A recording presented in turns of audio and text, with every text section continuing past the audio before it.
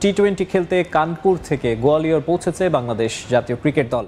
Wow, দর্শক, দারুণ সুখবর। এবার ভারতের বিপক্ষে টেস্ট সিরিজ হারার পর থেকে যেন বেশ অনেকটা সতর্ক হয়ে গিয়েছেন বিসিবির কর্মকর্তারা। তাই তো এবার ভারতেরই মাঠে তাদের বিপক্ষে টি টোয়েন্টি সিরিজ খেলতে বাংলাদেশের প্লেয়াররা রওনা দিয়ে দিয়েছে আগামীকাল। যে ম্যাচের মধ্যে থাকবে বেশ অনেকটা পরিবর্তন প্লেয়ারদের। যেখানে নাও থাকতে পারেন তাসকিন আহমেদ ও লিটন দাস। তবে তাদের পরিবর্তে একান্ত চেঞ্জ আনা হবে সাব্বির রহমান ও সাইফুদ্দিনের। ঠিক এইভাবে যেন দলের একাদশটা ঘোষণা করে দিয়েছেন নতুন ক্রীড়ামন্ত্রী আসিফ মাহমুদ। হ্যাঁ দর্শক, তারই বিস্তারিত দেখতে ভিডিওটি না টেনে শেষ পর্যন্তই দেখতে থাকুন।